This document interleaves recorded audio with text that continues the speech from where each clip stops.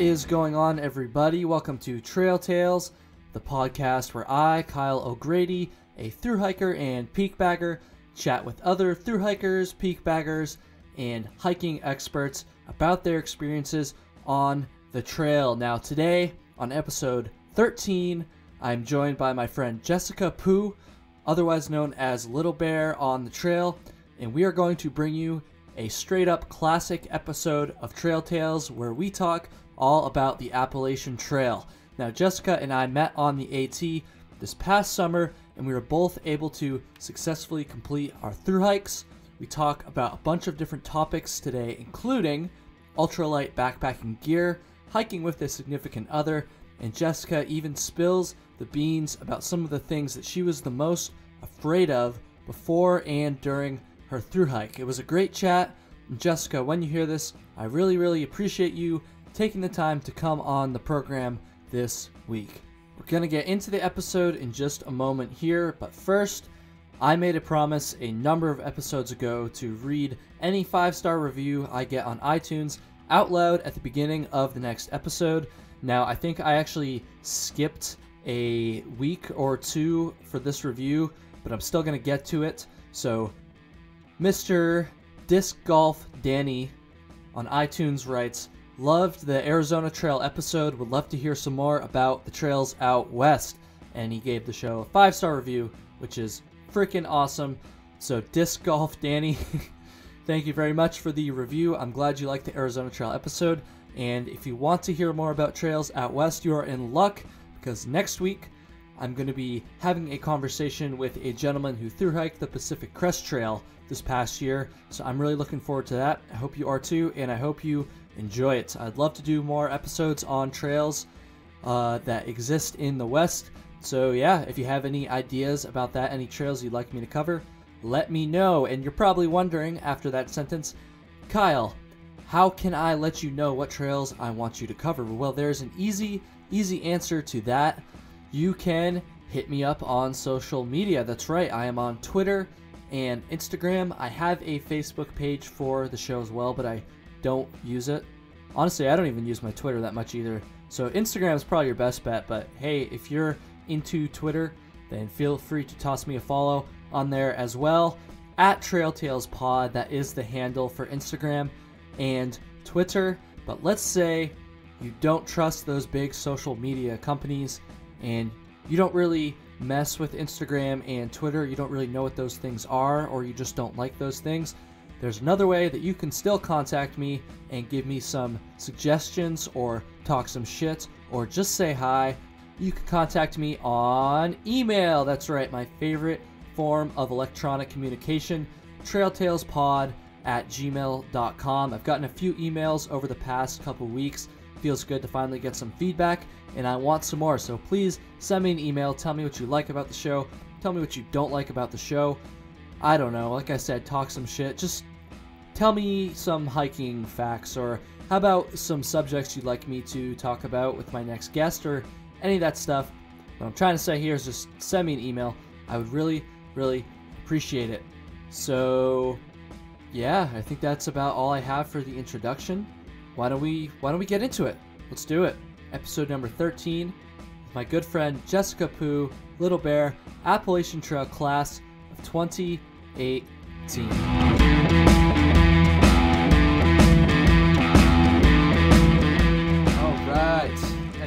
Want to say? Any questions before we start? Uh, nope. Okay, let's do it. Ready? This is how we're gonna start the episode.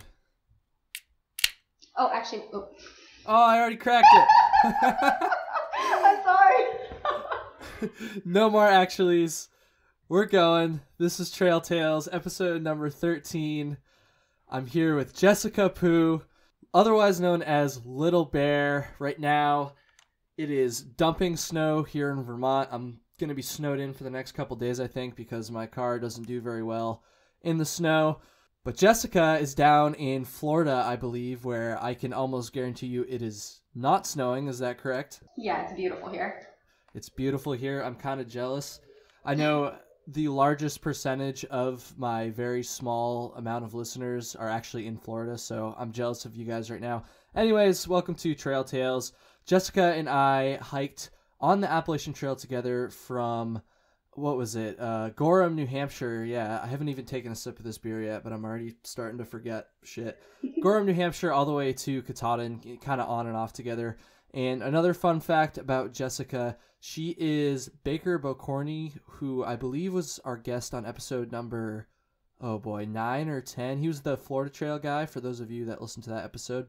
Anyways, Jessica is Baker's fiance, and she was nice enough to take some time out of her day today and on Thursday, which was two days uh, back from now because we tried to record then, but we had some technical difficulties. Anyways, Jessica, thank you so much for taking the time to come on the show today. What's going on? Not much. I don't have to cook dinner tonight because I'm doing this, so that's nice. Ooh, excuse to not cook dinner. That sounds that sounds great. So, Jessica, to start off our conversation here, I kind of want to ask you the same thing that I ask all my guests, as I'm sure you are familiar because I know you've just listened to every single episode and you're a huge fan, right? No. All um, one. So, how did you learn about long distance hiking in general, and then what gave you the idea to do a through hike of the entire Appalachian Trail? Oh man, I wish I could say that it was something that like I've always wanted to do or was a dream, but really I learned about it through Baker. Um, and he was really smart about it. He started me out with some like shorter, easy trips on really beautiful days and really beautiful places. So like we did a week long trip in the um, the Smokies, yep. where we got to see the solar eclipse. I think you mentioned that, um, and that was just beautiful. We had stellar weather, and it was amazing. Um, and then we also did a week long trip in Kentucky at Red River Gorge, I think, and that was also stunning and beautiful. Um, and so I just he gave me a lot of really good experiences, and so it got me interested. Um, and the final thing that made me want to do like the Appalachian Trail was um, home, homemade wanderlust videos. I saw them and oh, it just okay. seemed like I, she was very realistic on like you know what it involved and what she went through, and it was like it made me think like, well, I think I could do that. I think I can handle that. Yeah. Um, and then it was good timing with school to just like take a break after school and not go straight into working. Okay, so that's something that a lot of people have questions about often is like how do you like find time to do you know a four or five month whatever through hike. So can you just talk a little bit about like what your life circumstances are? I know you just said you're in school, but can you kind of just like elaborate on that a little bit more and kind of talk about how you were able to fit in a through hike into you know your otherwise very busy life? Um, yeah, so it just again kind of like with what you did like right after school, it just was a good time to take a break. Um, I was doing pharmacy school um, and I graduated. So after you graduate, you have to get go through like a licensing process before you can start working. Um, so I just decided to delay that licensing process and um, take off the summer in order to hike. Um, we were able to do it mostly because Baker had already been working for a few years, so we had money saved up for the yep. two of us because there was no way I was going to work enough to save up several thousand during school. So it was, it was just good timing for both of us. Yep, no, that makes sense. Yeah, because like you said, that's kind of how I did it too. After, right after school is done, I understand that for a lot of people that's not possible because they're just not like in school anymore. But uh, I don't know. I think when I have some some older people on the show, just I say older, I just mean people that aren't like right out of college, mm-hmm. early 20s kind of like me. Um, I think I'm going to try to work that question in a little bit more because I am kind of curious how other people, you know, that have different life circumstances than myself kind of find the time to to do a through hike like that. And that is something that you know potential people that are considering doing a through hike or at least interested in doing a through hike ask about a lot but yeah absolutely. I feel like everyone was our age or um, retired. Yeah pretty much. most of the people on the trail. I mean that is like a, a trend that i've noticed as well. It's like a lot i don't want to say most people but like uh, definitely a majority of people from my understanding anyways are either like younger maybe early to mid 20s or you know retired i guess that 30s, 40s age range isn't really represented as heavily as those other ages, but I mean, that kind of makes sense too, because that's like the I'm having a family and getting married and being like a real person kind of age. So I don't know, saving mm-hmm. money, all that stuff. But, anyways, so I kind of want to talk about your hike on the AT a little bit. Now, we're going to jump right into a subject that I talked a little bit with Baker about on his episode. Again, I can't remember the name the can't remember the number of that episode, but um, that is the subject of hiking with a partner because as people that heard that episode will remember, that's just the fact that you and Baker hiked the entire trail together is just something that kind of fascinates me because I feel like a lot of couples just like couldn't do that and that's maybe that's kind of insulting of me to say but i don't know like I, I think everybody will agree you know two significant others hiking over 2000 miles together over the course of four five six months is something that's pretty incredible so i kind of want to talk a little bit about that. So i guess the first question we're going to start out with here is just very general but i think it's kind of the million dollar question when it comes to this subject so what advice would you give to other couples that are looking to do a full long distance through hike? I think the most important thing is that communication is absolutely key. If you're not able to communicate with each other clearly and effectively in real life, you're not going to be able to do it on the trail when you're stressed out.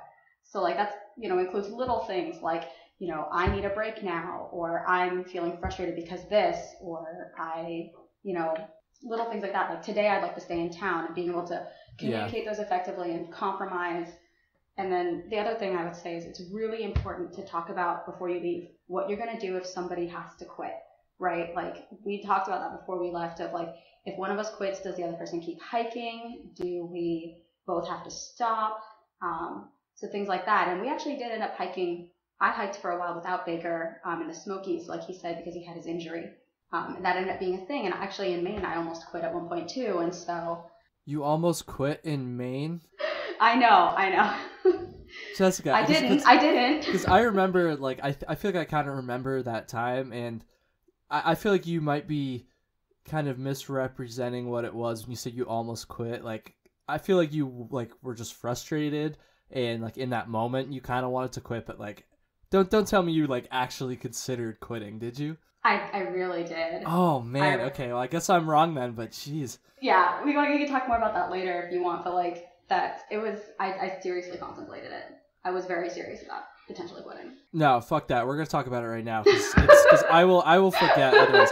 Okay, this is yeah, this is not on my notes or whatever. We'll get back to the significant other hiking partner thing in a second, but just tell me what happened there. Like I honestly, because like I just said at the time, I remember you were frustrated, and that was a hard, I remember this section of trail that you were uh, talking about. I believe it was the section from like around the Mahoosuc Notch area in southern Maine, right? Mm-hmm, yeah, it was yeah. southern Maine. Because that was a hard hard section. Because I've t- I've talked about it on the show before. Like that's probably, in my opinion, the most challenging, physically challenging part of the whole trail. Mm-hmm. That ten miles either direction from Mahoosuc Notch.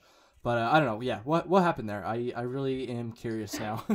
so it was it was mostly that I I developed a lot of fear around that section. Um, I was very like you know, in southern Maine, it's not just that this trail is challenging, but that there's a lot of really steep descents where there's these huge granite rock slabs and they go on forever and there's there's no trees, there's no cracks in the rocks, and it's like there's nothing to grab onto, right? Like if you were to slip, you would just slide for like hundreds of feet. Oh yeah. Yeah, or there were some where it was like rock scrambles to get down when you were hand over hand climbing. And it got to a point where I didn't I wasn't enjoying the trail anymore because every time we would climb, all I could think about was how scary the descent was going to be because I was it wasn't just like a it was hard or challenging. It was just that it was I was literally afraid that I was going to fall and hurt myself.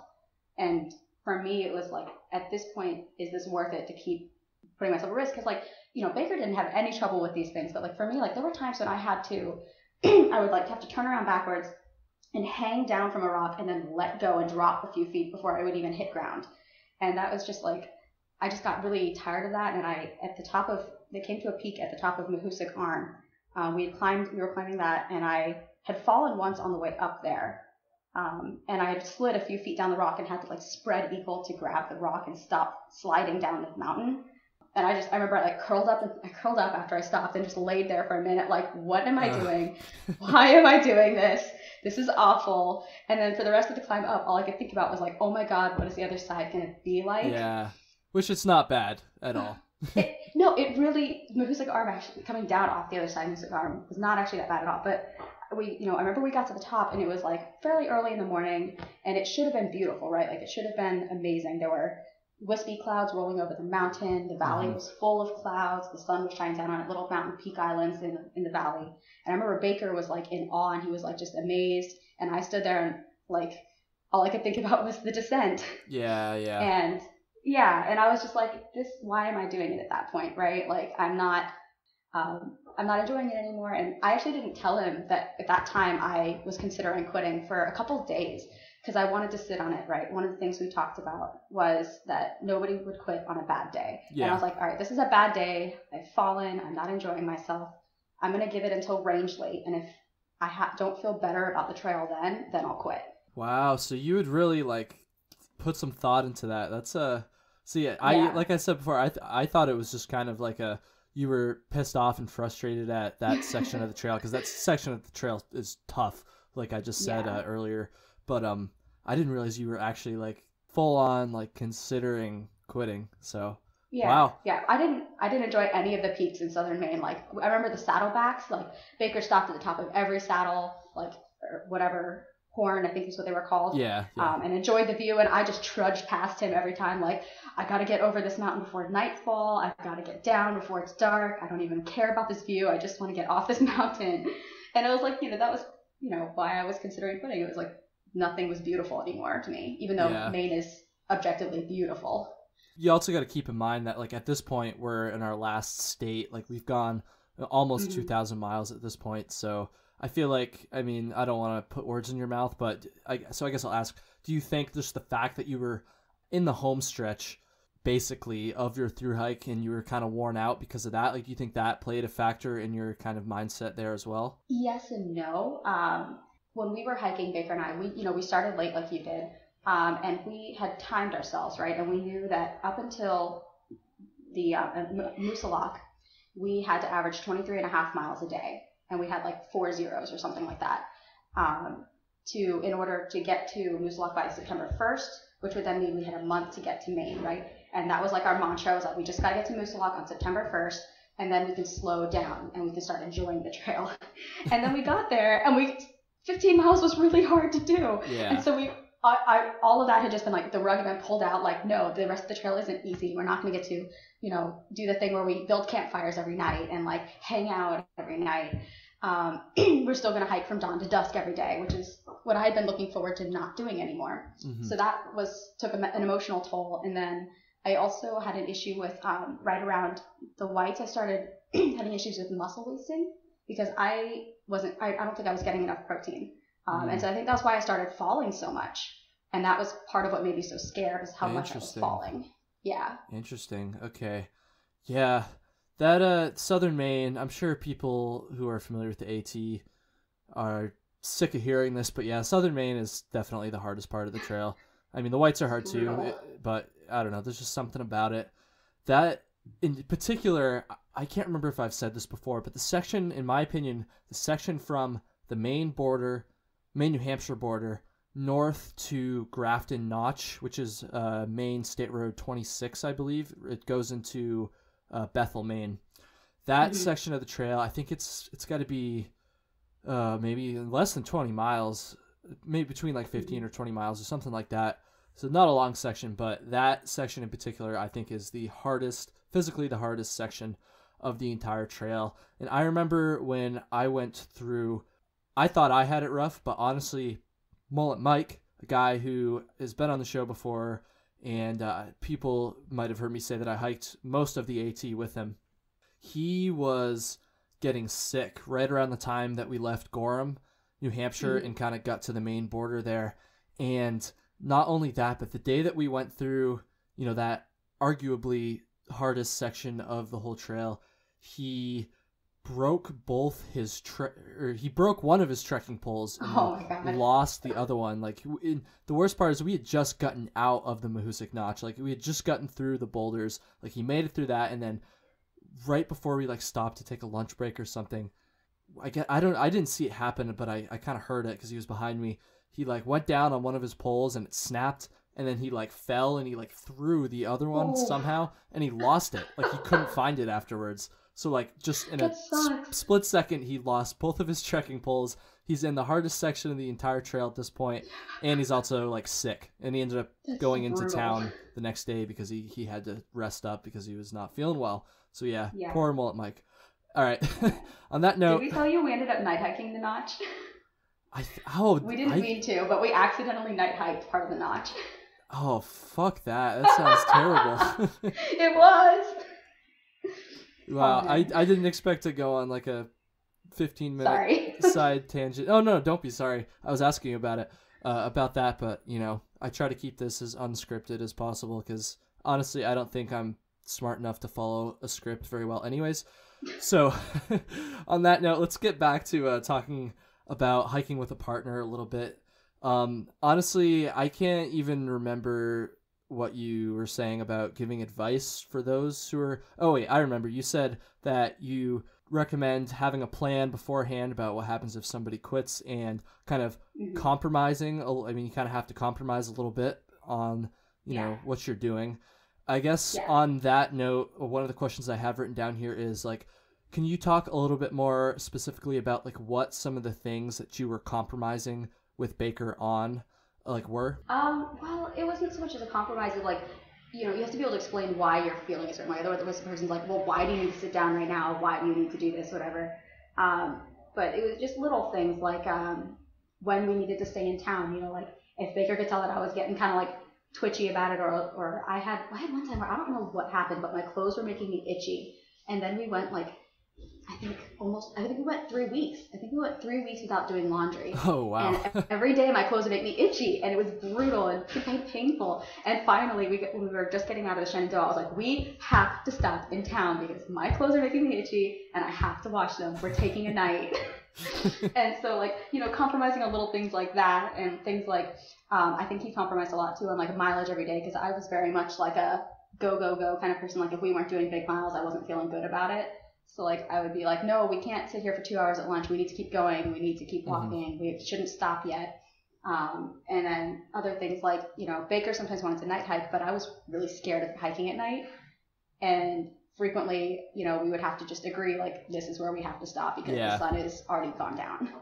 Um, so mostly it was just when do we stop in town and when do we need to stop for breaks is what we had to compromise on. Right, right.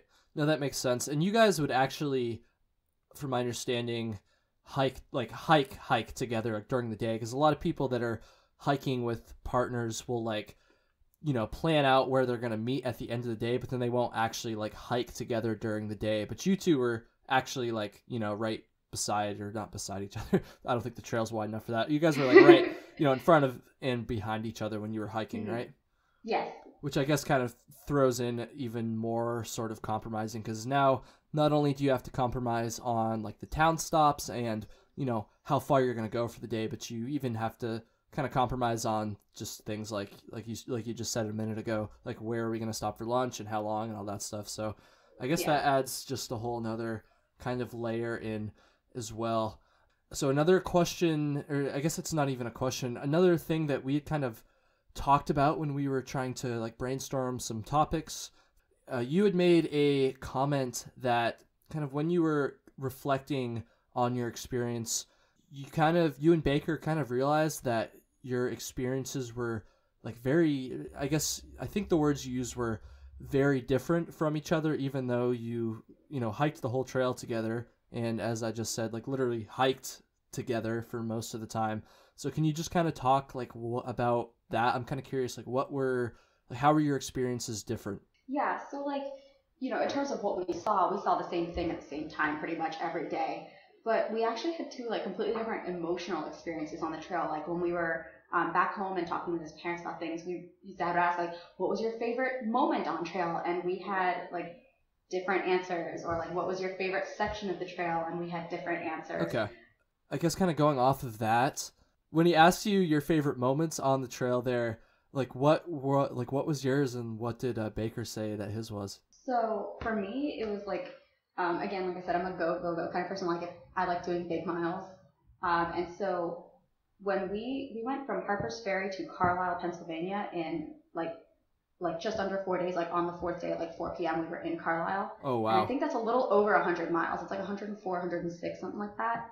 And like so, even though that was a section where it like rained every day, and it was you know Um, we're beginning to get a little bit into the rocks of Pennsylvania, just a little bit, those little small ones. Um, and it, the trail was flooded everywhere. Our feet were soaked. We ended up taking a double zero in Carlisle because Baker had infected blisters, and I had some sort of allergic reaction to KT tape that I had on my feet. Ooh. And so I had just a horrible rash that turned into blisters later. Wait, this is Um, your favorite section? What are you talking about? It, it is. I know. terrible. It's crazy. It's crazy. I know. But like, because that was the first time we did four 26 plus miles days in a row. And I just like, I felt so strong. We were hiking so fast. and We were accomplishing so many miles. And so like for me, like when I look back, like that's the moment I'm like most proud of. Like the moment I have like the best feelings associated with. And for Baker, he like, I don't remember all the things he mentioned, but one of them was like the summit, obviously the summit day. Like he had, you know, that was like one of his favorite moments on trail was getting to summit Katahdin. Whereas Yeah. like, I don't know if you remember, but I sat down and cried on the way up Katahdin. I had a terrible day. yeah, I mean, so that to be fair, in my opinion, that climb on the Hunt Trail, you know, up to the summit of Katahdin from what is that Katahdin Stream campground there, that last Mhm. five miles or whatever it is of the whole Appalachian Trail, I think it was like the roughest section of like the whole trail on or maybe maybe not as bad as the Mahoosuc Notch, but it's like going uphill or downhill, unlike the Mahoosuc Notch where you're kind of going flat. So like you're still going Yeah. over boulders and stuff in the Mahoosuc Notch, but like I don't know that. I guess what I'm trying to say here is that climb was like pretty gnarly. So yeah, honestly, I can kind of understand why you were not really enjoying that so much, given we've already kind of talked a little bit about how you do not like the uh, more dangerous sections of the Yeah. trail like that. Which I don't think anybody. I mean, maybe there's some crazy fucking people out there that like that, but I'm not crazy about it either. Yeah. Most people don't get as afraid of it as I was, like right. And I was a little more afraid than was reasonable. Like I got passed by two six year olds on Katahdin, so clearly I was more afraid than I needed to be. So yeah, I mean, no, it's everybody reacts differently to that stuff, honestly. Um, I know for me, I've done a lot of kind of sketchy sections of trail like that with, you know, your full heavy pack, obviously, like we were on our through hikes. And then I've also done, particularly in the Adirondacks, I've done a lot of sketchy sections of the trail like that with only a day pack. And honestly, just having a little bit less weight on your back, I think makes a huge difference as far as like how sketchy it is for some reason. I mean, I guess it makes sense. You know, you're not gonna like have as much momentum going down. I guess I don't fucking know. I'm not a Mhm. physicist, but If you have like a frame pack, like mine was, you know, I had the Osprey pack. It was a full frame pack, and I would keep it so it floated over my shoulders because I any weight on my shoulders gives me a headache.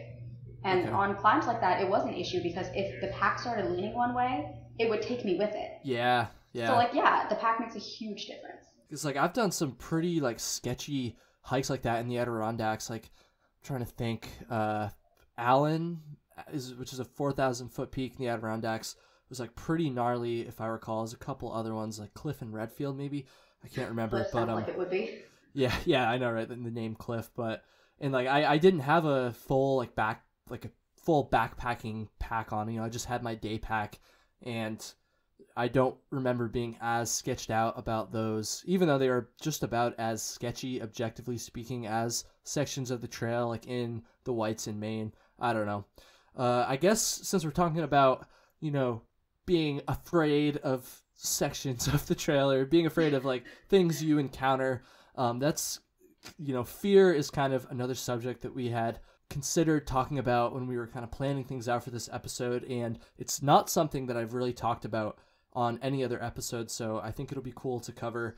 So you had mentioned that before you'd set out on your through hike, that there was kind of some fears that you had that were building up that you thought you would need to overcome. Can you just kind of talk about what some of those pre-hike fears, I guess, uh, were, and kind of how you like overcame them once you actually, you know, got comfortable on the trail? Yeah. So um, I didn't have any like the typical fears. Like I wasn't afraid of bears. I wasn't afraid of crazy people, or I wasn't, and I wasn't afraid of like the hitchhiking or running out of food or not having water. Um, I had some like really ridiculous fears actually. I have a phobia of bees and wasps and hornets and things like that. Like a like a straight up phobia. Like I almost threw myself off a cliff at one point on the trail, trying to get away from one. Are there a lot of like bees and stuff in Florida? No, actually, not compared to the trail. Oh, okay. I don't have to see bees very often in Florida. Um, they are around. But I don't know if you remember North Carolina was like filled with bees. There were bees everywhere, everywhere you went, especially at shelters. I honestly didn't really see that many. I, I got stung. What? How many or how, how many times do you get stung? I should probably ask you that. I should preface this by saying I have been stung before the trial. I've been stung once ever in my entire life um, because I'm really good at running away from bees. uh, but I actually got a really bad sting. Um, so in Virginia, um, we got picked up by my parents on July 6th to go to just see them for a little bit. Um, and the day we got picked up, which was a 20 point something mile day, I got stung by what we later believe was a bald faced hornet. I don't know what that is, but it sounds They're painful. especially nasty. They're especially nasty. Yikes. Um, yeah, and it was it was so painful. Like I felt like someone had punched me in my calf, where, which is where I got stung. And I remember we looked for a snake at first because it really felt like something had struck me. Oh wow. Um, but there weren't any like puncture marks. Um, and the way it was like presenting looked a lot like when I had gotten stung by a bee before. Um, but I actually still have a scar from it. Like I have Oh, a little scar from where it stung me, and it I was, it discolored my like almost my entire calf for like two two almost three weeks before that healed. Um, and That's that was gnarly. painful. Yeah. And so I actually, um, from that moment on, I was like half joking, but I kind of wasn't. That like if I ever got stung again, I was gonna quit. and luckily, I didn't get stung again. But I don't, you, you know, you must remember there were like those hornet nests, those little paper gray ones, and they would be like on the ground, like two feet away from the trail. Sometimes, like especially in Pennsylvania. You guys were like a couple days ahead of me for most of that section, so maybe you guys just like scared them out. Maybe I don't know. They were everywhere. I got stung in where was I? I was in New Jersey. It was the day that I, yeah, it was the day that I went over that like uh boardwalk section. Yes. Oh my God. Yes. So I, I, we have Guthook, right? And I used to like go through Guthook every night, and people would comment where there were bee nests in the trail. And that that huge long boardwalk, I think it was maybe in Massachusetts, right before like, well, before or after New Jersey. I don't remember, but there was one where someone had commented like, "There's a bee's nest under the boardwalk. If you go over it real fast, they don't sting you, but if you stand on it, you'll get stung." So then maybe that's where you got stung. It wasn't actually yeah, it wasn't actually on the boardwalk. It was just uh like right after that. I just remember because I was that was one of my worst days. I, I think I was like kind of getting sick or something, and Oh, like no. I I didn't sleep well, and I didn't drink coffee in the morning, which was stupid. I just felt like shit. It was just one of those like really hot, humid days, and of course on my already worst day on the trails when I got stung in the ear, mind you, which did not Jesus, feel good at all. Mm-mm, Yeah. Mm-mm, Not a big fan of that so kind of transitioning back away from well actually no we're not transitioning away from bees but we're gonna transition God. back into into fears so we kind of got sidetracked there talking about the bees um so just kind of going back to like the the whole fears thing like can you just talk a little bit more about like that particular fear of bees and or or some of the other fears you had before you set out on your through hike and kind of how you overcame them Yeah, so um, it, there was I had the fear with the bees of just like I knew that I had this phobia and it was there were going to be bees out there that would be crazy to think that I wouldn't run across some. Um, but I also had another really irrational fear, and I'm, I'm aware these are irrational, crazy things to be afraid of. Um, but I I don't have a fear of ants, but I have an issue with ants when they're swarming, like when there's a lot of them.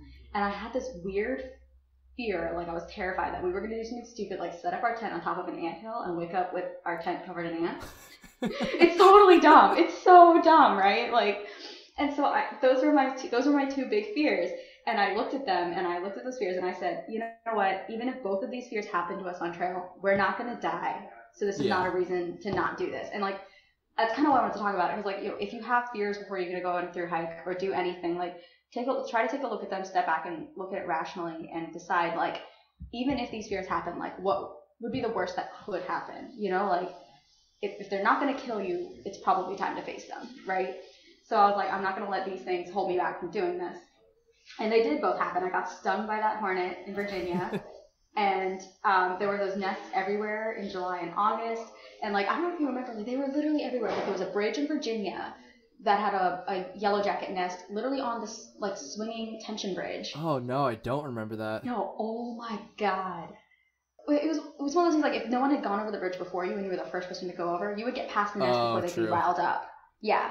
So like that was how I got past. It was like, you know what, I was like I, I did what I call suiting up. So I like put on my wind pants and I put on my rain jacket and I put on every layer I had so hopefully I wouldn't get stung.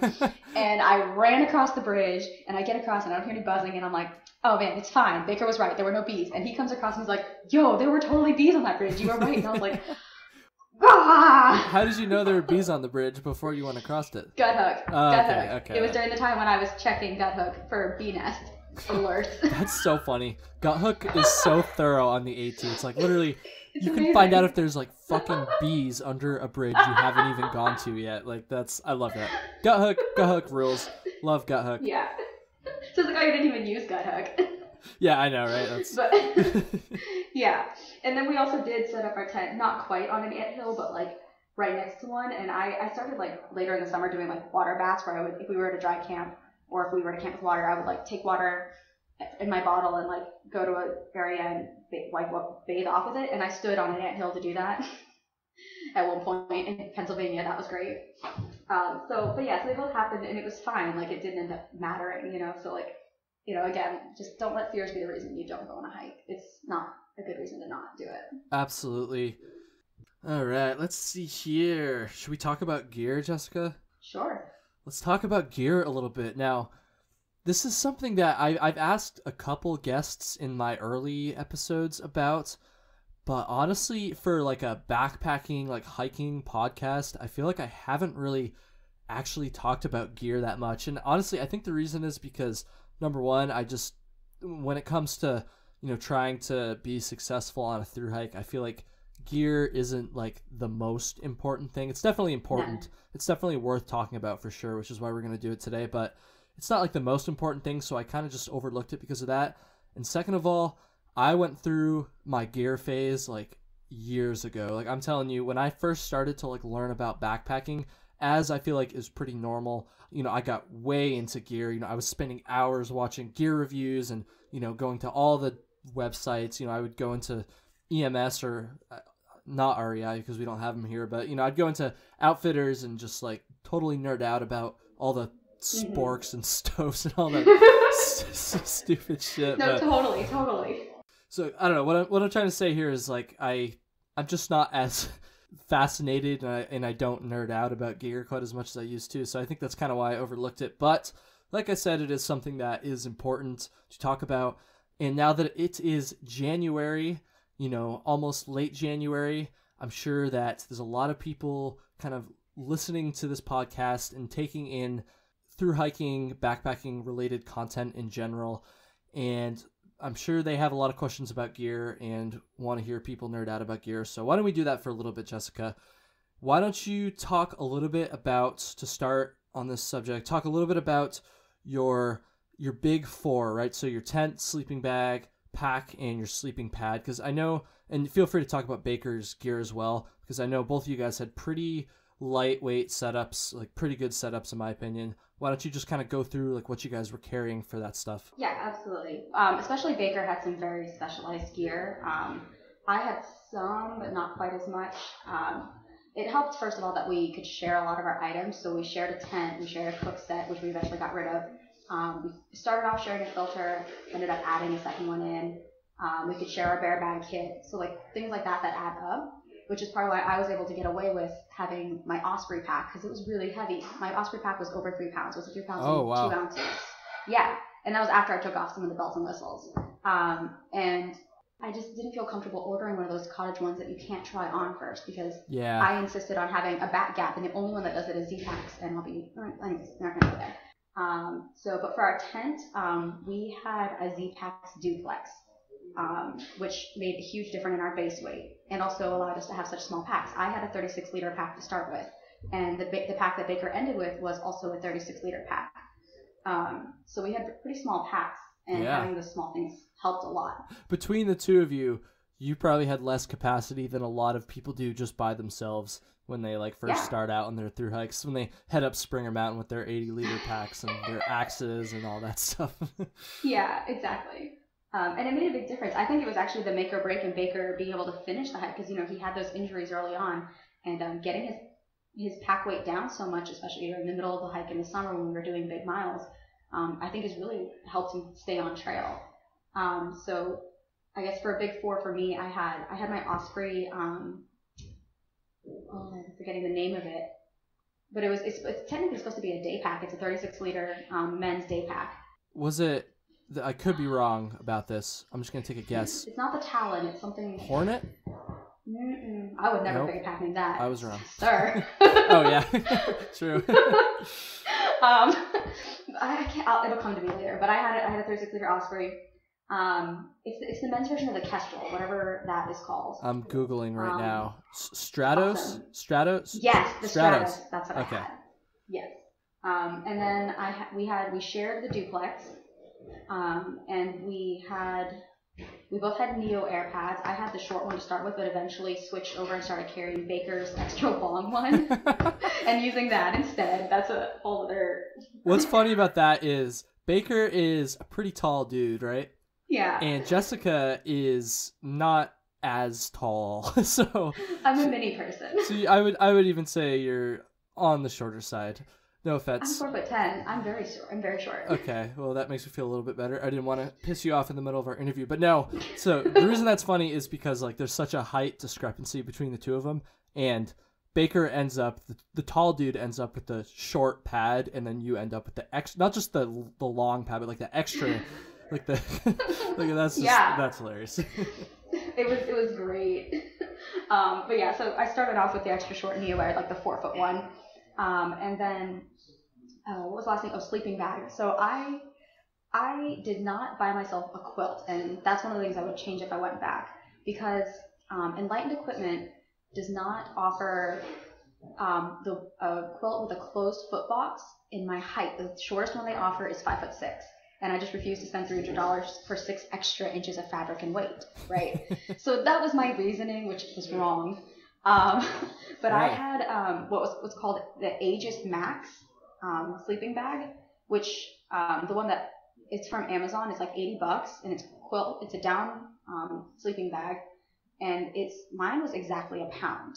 Um, Baker's came in at a pound and three ounces or something like that, and he didn't end up using it.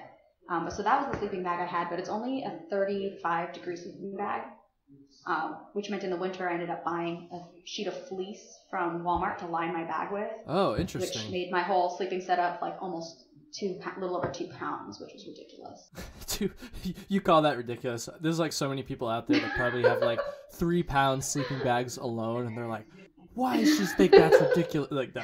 well, because if you think about it, at four foot ten, like two pounds is two percent of my weight, right? And your pack's not supposed to go above twenty percent of your weight, so that's a big percentage of my allowed pack weight um, to do that. So um, those that was what we all that was what we both started with. Um, none of my big four changed except for that sleeping pad where I changed it out and took Baker's heavier one yeah. because apparently I'm, even I'm not small enough for the extra small. Although Baker used the extra small for the rest of the trail, so I don't know what's up with that. I don't even But- know. What were uh, what were some of your other like notable like gear items, I guess, or just any other like item that you had with you that you liked a lot and you want to talk about a little bit? Give a give a shout out to. Um, yeah, so one of the big things that changed a lot for us over the course of the trail was um, our cook set. So we started with the, um, like, I think it was Halulite Micro Dualist kit, um, and we didn't take any of the bowls or stuff with us. We just took the pot, and we ended up trading that out because it's almost a two liter pot, and we never boiled more than like 500 mils at a time because we, we did the cook in bag thing where we would just cook in our Knorr rice side bag. Yep. Um, so we didn't need a large pot, so we traded that out for a um, a titanium mug with a lid that we added silicone um, tubing to to the handles, and um, we also started with a MSR pocket rocket stove and switched to the BRS stove. And I would definitely recommend the BRS stove with a titanium mug over any other kind of like pot kit set because it came in together, both the mug and the and the stove at like I think five ounces. Nice. Yeah. But if I was going to do it again, um, what I would do is I would just get the Vargo bot and not bring any stove. And on nights when I had time, cook over a campfire. And on nights when I Ooh. didn't have time, cold soak. Um, Interesting. because and then just save all that weight and not have to carry a fuel can or anything like that. Um, because during the summer months, we actually bounced the, co- the titanium mug and BRS stove ahead um, and just got Talenti jars and cold soaked through the whole summer, and that was fantastic. You just call cold soaking fantastic. It was great because when it was that hot, do you remember how hot it was? Like a lot of times when we would finally I just- camp, we would have like a little bit of heat exhaustion. Like I would be overheated and nauseous, and all I wanted was cold food. I did not want any hot food. Yeah, right? no. So like it was great. I feel that. Yeah, honestly, I we've talked or I've talked a little bit with my guests about cold soaking on other episodes and Mhm, yeah, some people swear by it, some people love it, but a really personally personal thing. It, oh yeah, absolutely. I mean, I, I guess on that note, like all gear is kind of a personal thing, but yeah, personally, I I had the stove and used the stove and never considered getting rid of the stove the entire hike. But you know, I'm also I would say I'm also kind of a little bit more of a picky eater in general too. My mom will probably have some comments about that when she hears this, but uh, I don't know. So yeah, I I had to have my hot food. I had to have my hot coffee in the morning. I don't know, but Oh, we never bother cooking in the morning. if you can like get away with doing the cold soak thing, then I mean, go for it. You will save, you know, at least half pound to a pound, depending on what you would have brought for a pot and stove and stuff. So I don't know. It well, is the big thing is the fuel can. And the- oh, yeah. the weight. that's true. Yeah, because cold soaking doesn't actually really save you that much weight, right? Because a Talenti jar is like three or four ounces, and then you're gonna carry it for an hour in your pack full of water. So it's it's it's not as much of a weight saving as I think some people purport it to be. No, that's that's uh, now that I think about it, you're right there. I think uh, I think I was kind of wrong about that, but like I said, I don't cold soak, so I, I guess the biggest like weight saving would be you know the fuel can, and I guess it also kind of depends on what size fuel can that you like have to, because like some people would only carry like the four ounce, like the smallest fuel can that you can get, and then there's people like me that would try to save a little bit of money and just suck it up and carry the eight ounce, and then there's the people that would carry the like one thousand and a half ounce one that's like huge and looks like a The bomb. smallest one was eight ounces, but, No, but they yeah, like there's the really big ones. They have like uh, honestly, uh, the only person I saw that actually had one of those was Flossie. So, and he got it for free too. Like Flossie, I'm not making fun Oh, of you. heck You yeah. this, like you found it in a hiker box or someone gave it to him or something. So that's why he had it. And to be fair, it lasted him like like 500 miles or something ridiculous like that. that's but impressive. That's- I don't know. Yeah. I'm gonna not nerd out about fuel canisters too much here. but, But- yeah. Uh, go ahead, go ahead. Uh, I was gonna say in terms of like um, gear, I think Baker had the more specialized gear. He um, started the trail with um, a ULA Ohm pack, which is already like a cottage company, um, and he ended up switching to a completely frameless pack um, to the Gossamer Gear Kumo partway through, and he ended up like switch swapping out a few things. Like we both got rid of our rain jackets for most of the trail. Um, and switched to ponchos that we got at Dollar General. Nice. Shout out to Dollar General. Love that Heck place. yeah. Heck yeah. Except I tore mine and then had to replace it at a family dollar and couldn't find a good poncho. And I had a terrible Ooh, poncho for the rest yeah, of the trail. Dollar was so Dollar. General is better than Family Dollar. I will I will stand by that statement. I'll take that to the grave. Dollar General Yeah. sponsor Trail Tales. we also um, swapped out our bear bag system for a Zpacks bear bag kit, and that was awesome. It saved us a ton of weight, and that slick line is clutch. Although, for however long you end up using your bear bag system for, we'll just put it that way. Yeah, yeah.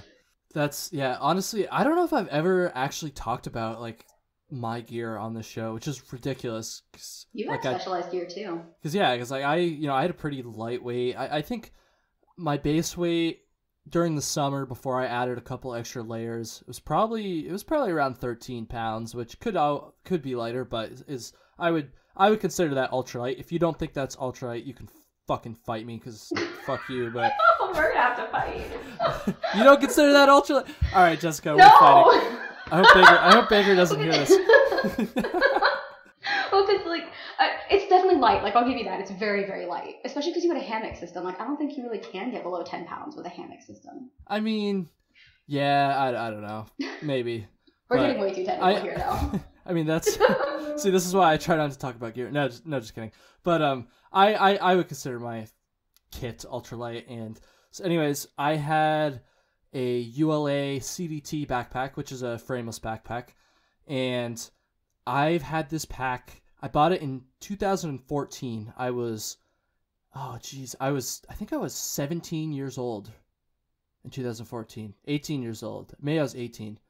Yeah, I was 18 years old. Anyways, I was I hadn't even started college yet.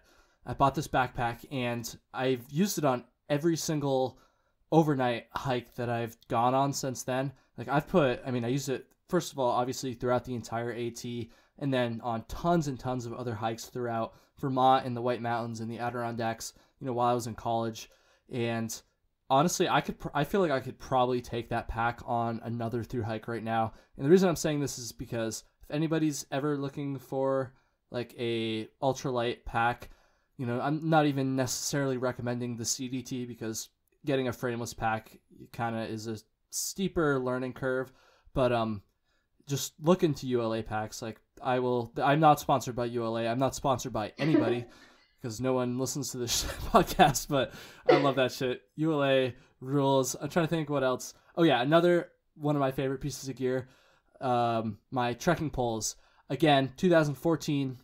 Before I'd even been on a college campus as a student. I don't know. When I was real young, I'm still pretty young, but I bought these uh, Leki Corklite trekking poles, and again, I've used them on not only every overnight hike I've gone on since then, but every single hike.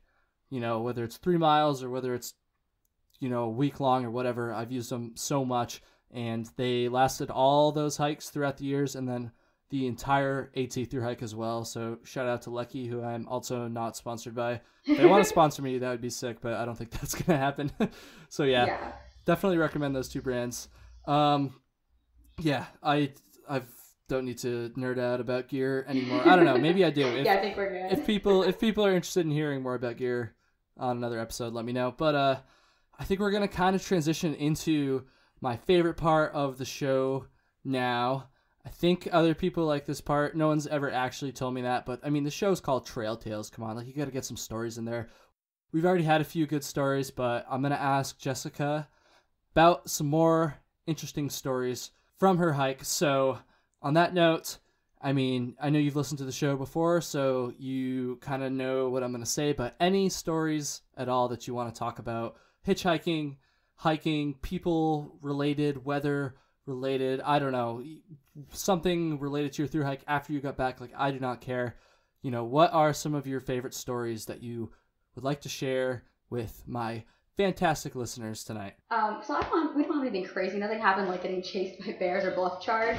Uh, but we did have one time where um, the first night we were in the Shenandoah. Um, so right around then is I hate to say it, but that's we actually hung our bear bike through the Shenandoah, but right after that is when we kind of stopped. Um, but we had one night, our first night there, and I don't know if you remember in Shenandoah, there were like the trail was kind of lined with those bushes, and you really just couldn't get like off trail. Like you could only camp in like little areas where like the bushes were cleared out, and then there were still bushes all around your campsite. And so we weren't getting near nearly as far away from the campsite as we should have been. You know, supposed to be 100, 200 feet to pee. And so you know, we're getting right at the edge of the campsite, and it's just after dark, and it's dark out, and we start hearing I start hearing something coming through the bushes and I'm like, I'm trying to be chill, right? Like I'm lying in the tent and I'm like trying to convince myself, that doesn't sound big. That doesn't sound big. It's just something small. It's fine. And there's this thing moving through the bushes and finally it's like 20 feet away from our tent. And I'm like shaking Baker. I'm like waking him up. I'm like, that doesn't sound big to you, does it? Mm. And he listens for a minute. He's like, no, that's big. and I'm like freaking out because we're in the Shenandoah. I'm like, oh my God, this is a bear. There's a bear coming into our campsite. I don't even know what to do. And so we finally like get the tent doors open and we shine our headlights out and it's a deer. It's this giant stag with like, like a seven point antlers, and it's in our pee spot digging around. And so we're like clapping, and we're trying to make noise, we're shouting at it, and this deer just looks at us and it just does not care. It just keeps doing what it's doing, trying to get like salt or whatever. And it hung around for like 30 minutes making all kinds of a ruckus. And so I know it's not like a crazy story, but for us it was like it was like a little bit scary, but it was also like really cool because then we were like 15 feet away from this deer for 30 minutes. And that, I don't know, it was really cool. Hearing anything big outside your tent while you're sleeping is always going to be something that sticks yeah. in your mind for sure. Yeah, and especially because uh, it was so big too. Like usually an animal like a deer isn't trying to make a ton of noise, but this deer was making so much noise. Like I was like, surely this is a predatory animal because otherwise it would be trying to be quiet.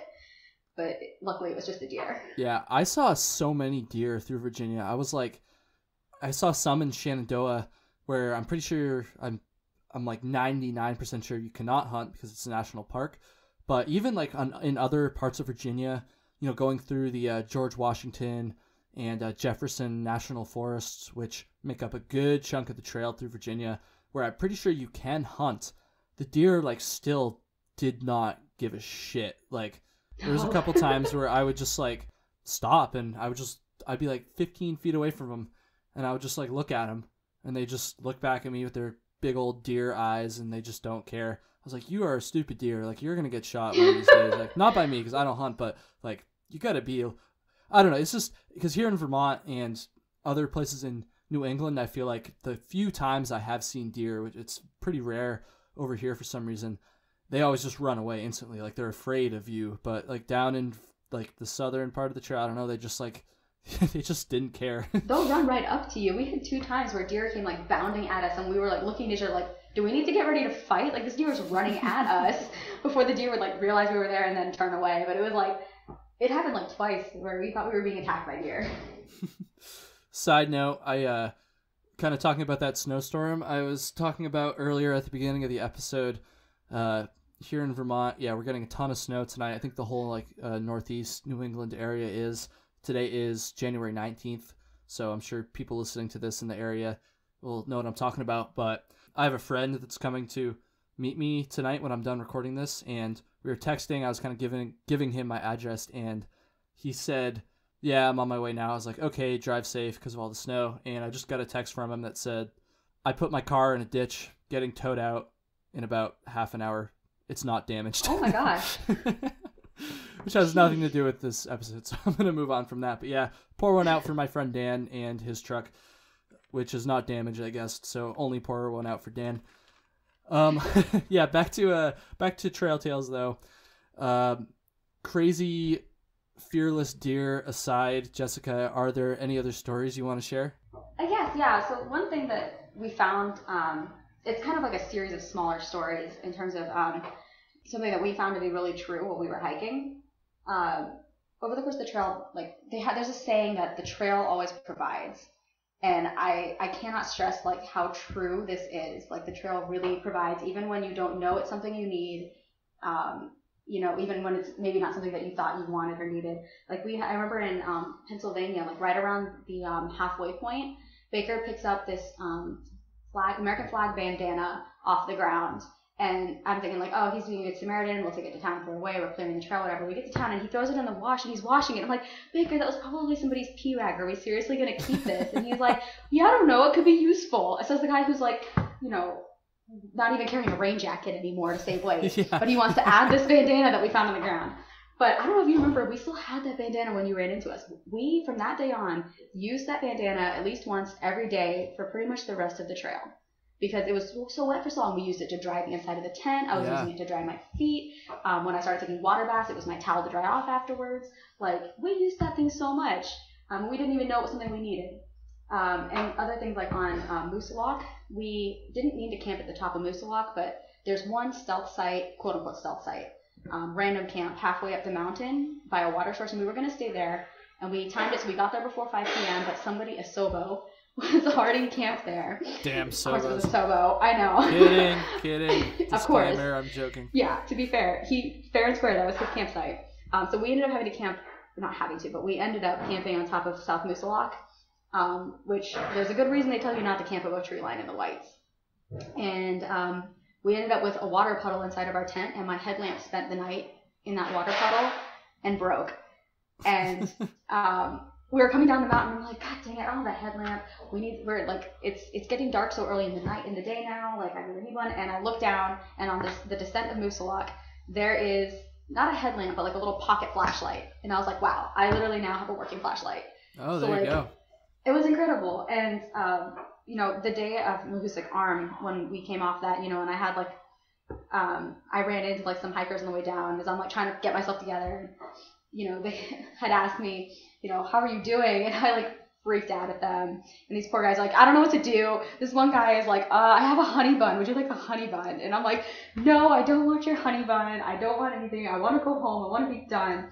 And that day we went into Bethel to do our resupply, and we were supposed to just go in and out of Bethel, but we get there, and you know, it's like a 30 minute drive into Bethel. It's insane. Yeah, it's a little bit of a way down there. Yeah, and so we were like, we were like, I was like worrying. I was like, how are we gonna get back to Trailhead? We need to like leave now, even though we haven't finished really doing a resupply.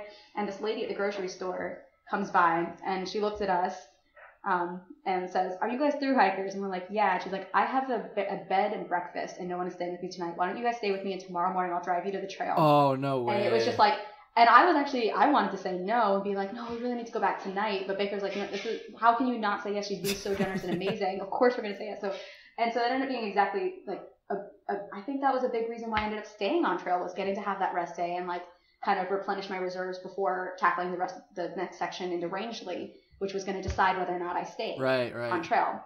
So like the trail, like I just the moral of all, all these stories is the trail provides even when you don't know that it's what you need, or even when it is something you know you need. Like it, it's crazy how true it is.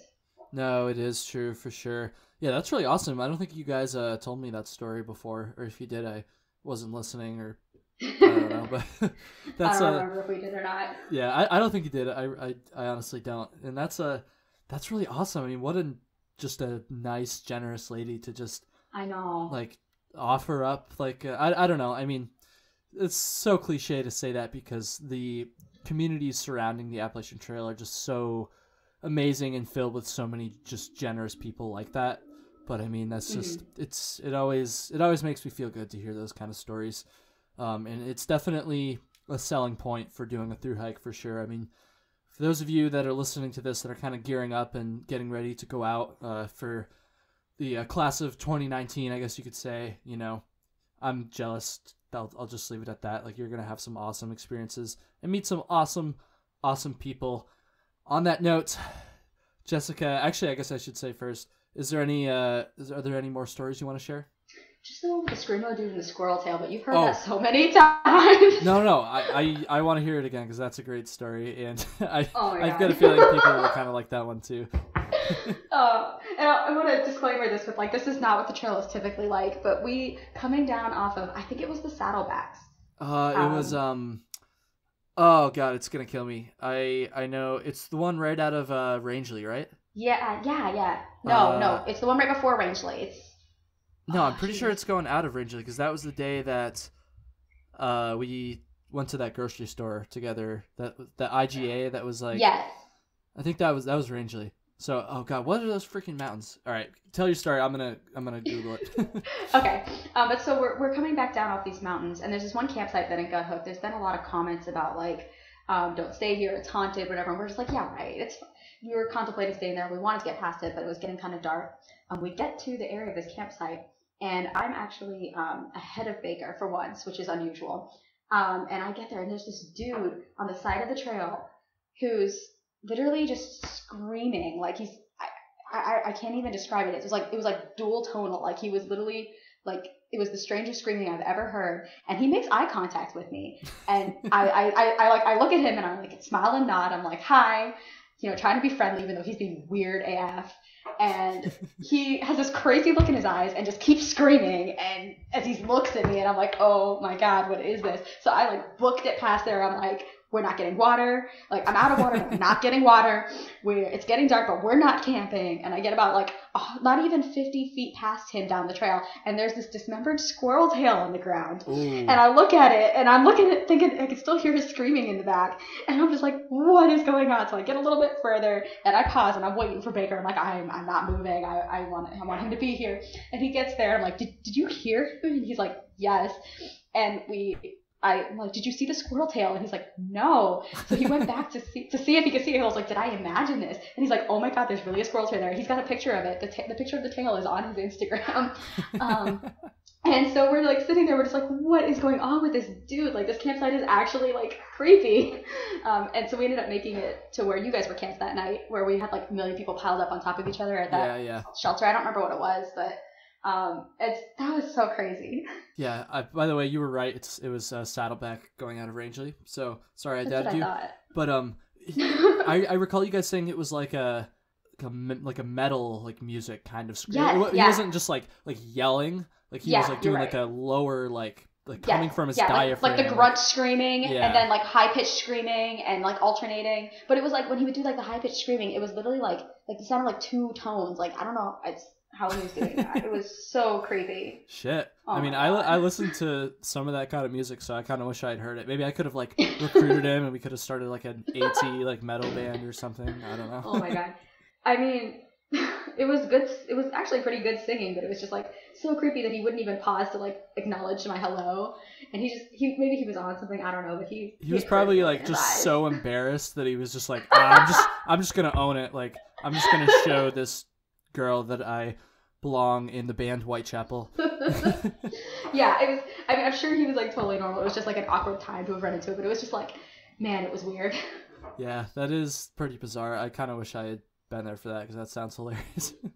Yeah, he the- must have been there when you guys passed because you were only like a few hours ahead of us. I remember I passed like the group he was with, but I don't. He was with a group. Was Because alone wasn't he like on that in that like uh I don't even know what they were like some sort of like trail maintenance group, right? I think so. I think so. He had like a shirt on that had their like like I can't remember which org- organization it was, but yeah. I don't either, but yeah, that's hilarious.